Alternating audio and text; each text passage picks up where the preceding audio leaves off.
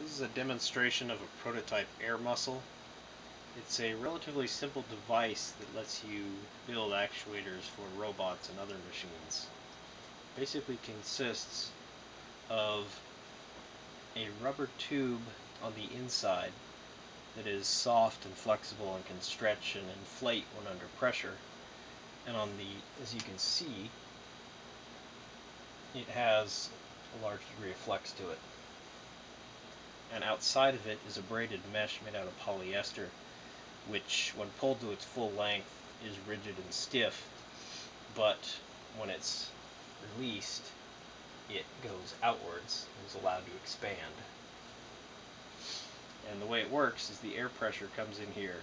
It'll fill this up and cause this to swell outwards and contract just like a human muscle. So now and as you can see there's a 25 pound weight hanging from the bottom so now I'm going to turn on the pressure and put 50 psi inside of it.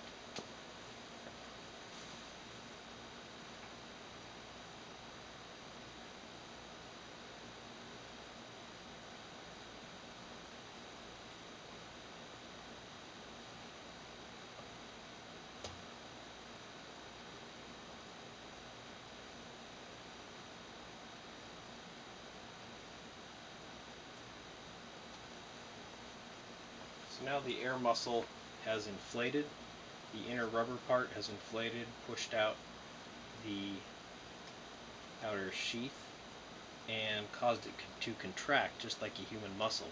And in the process, it's managed to lift this 25 pound weight about 2 inches.